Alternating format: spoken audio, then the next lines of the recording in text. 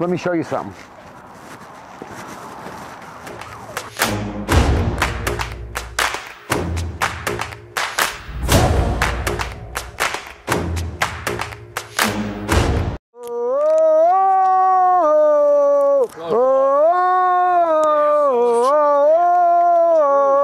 The approved plans.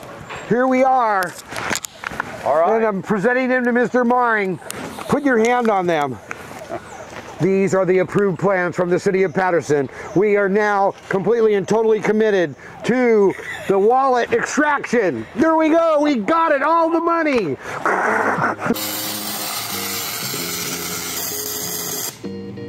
Pearls of wisdom are just spewing. Yeah. So, Yeah. Some people just bring it on themselves. They really do. I'm like a, I'm a magnet of uh, abuse.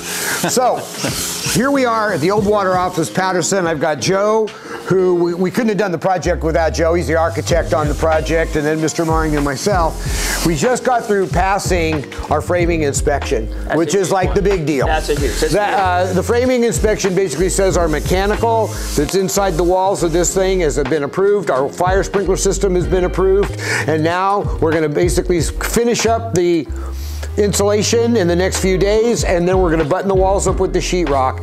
At that point, the ceilings will go in, which are going to be quite intricate.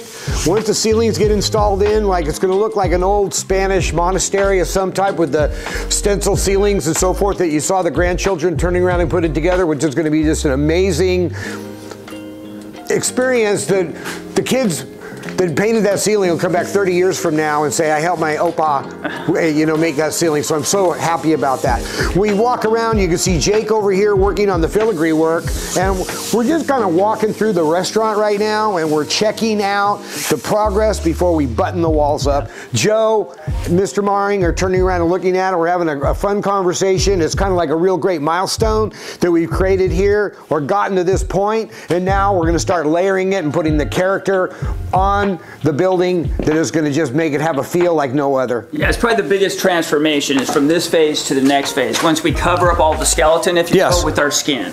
And then at that point, the aesthetics come in. yeah, we start layering. And, And- and that's what Bob is famous for, is those layers to give it the depth and the architecture and the Well, I don't know if I'm famous for it. Okay, Um, famous may be a bit of a yeah, that, yeah, that might be a stretch. Yeah.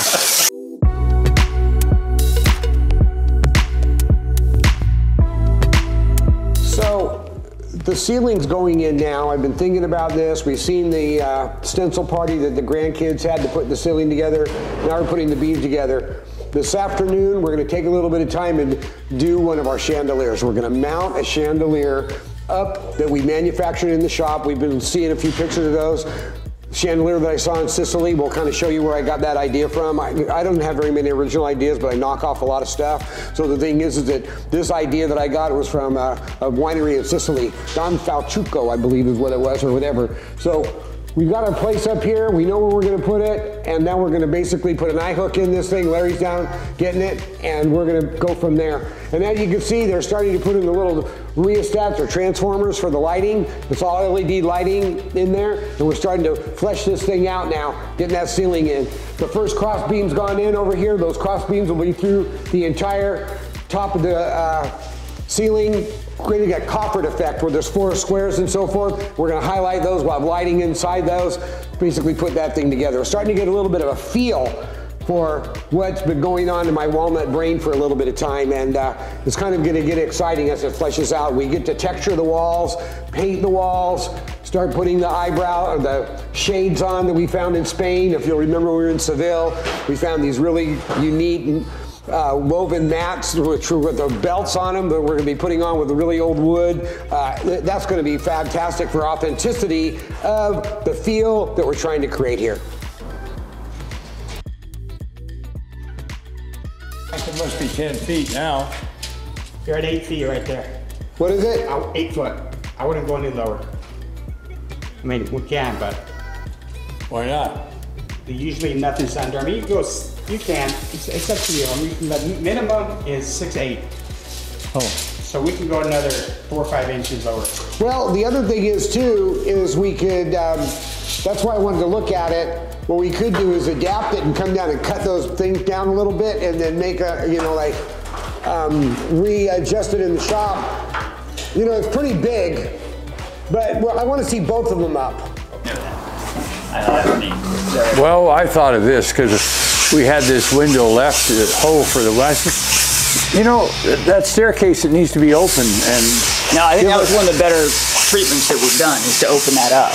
Yeah, so. the- You start to see that. and then it's That's the old, the old window and the, we cut it down a little bit, but it is the old window.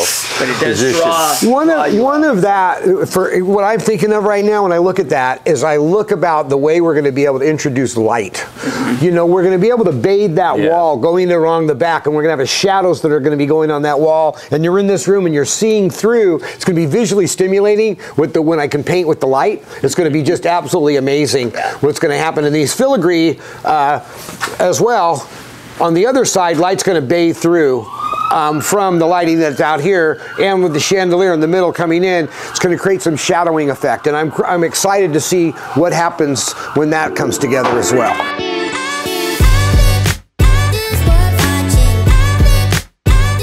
Jake is going to be famous for generating these uh, filigree uh, window coverings. Absolutely just beautiful shop work these guys have put together. We're just so excited to see these go up. Mr. Maring loves it. And uh, as you look through it, you'll see a recurring theme. And the recurring theme is the theme of the heart and the love of Patterson and him creating this restaurant. A subliminal little message there. Absolutely fabulous.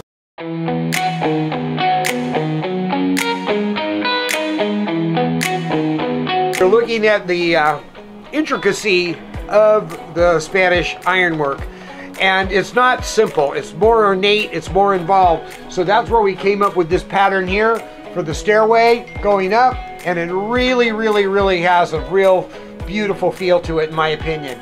So please, I think it's going to really show well. It's going to be beautiful, and we're going to we have a nice room for a nice little table here.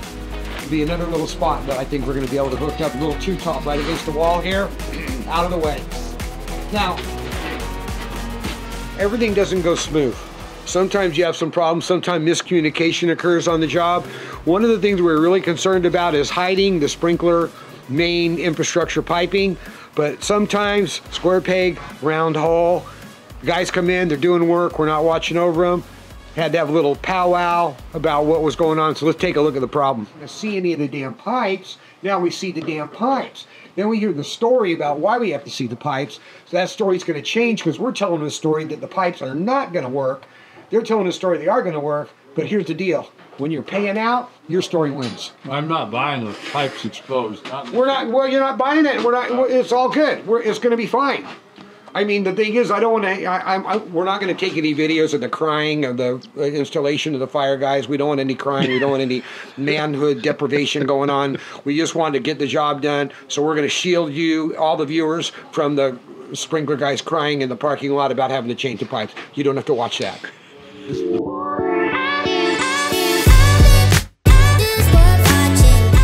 Over here, Edward, they've got one more eyebrow they have to put up. I realize it's the back of the building, and I realize you're trying to slam the wallet shut, but you know, this is the only exterior window on the entire structure that will not have an eyebrow on it now.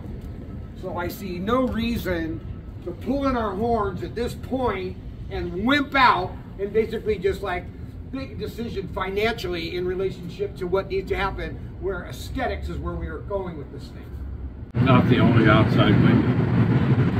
The- no, the only outside window that doesn't have an eyebrow on it except the one over the dining room. Anyway, yeah, I guess we have enough scraps left. Oh, do we have enough scraps, everybody? Take a look at the scrap pile that Ed's thinking is limited to our ability to put an eyebrow over this window. I have to cut down another redwood tree. I was, I was out on a side note. I was out at You're not looking at the camera. Did you want to put a sign on the back of the building too? No. Um, so the sign on the back of the building could go in this area right here, Ed. What do you think about that? Well, I can get my spray can and just spray one up. So, like when you're out running around on the evening, you can just No. make a stop by here No. on your uh, tagging uh, night. Yeah, I could tag it. Okay, you'll tag it. All right. You So is everybody going to Mexico now? Yeah. When are you going to be able to put the final coat on? You know, the first day, so there That that first New Year. Yeah. Like maybe every week of January? Yeah. The time they Good to know there? Yeah. The good weather. You got to figure out how to do it? Yeah, you told me last time. Yeah, yeah. No problem. All right. You see that over there is good for the sign. I put the letter. You check it I'm going to go look at it right now.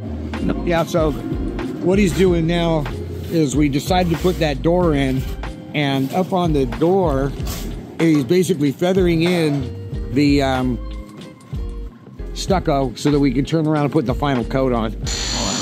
Do you like what I'm doing here? Yeah. Look at that. Look at that eyebrow there. It just looks so old world. That could be in Spain in Yes. 1800. Yeah. You know. Um, and that, that's kind of the feel that we're trying to achieve here is detail that is not done in commercial construction.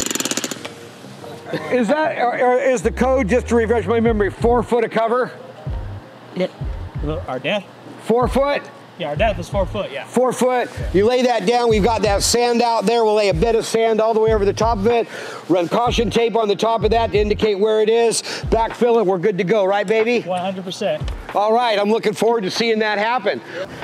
That basically is probably when situations like that happen, institutes probably three or four cases of severe depression on construction crews uh, when they see that because case or two of it's beer. a pain in the ass. What's that? Or a case or two of beer. Yeah, a case or two of beer. Yeah, probably we we were weird. That's a that's a four Modelo case uh, concrete blowout go. right there.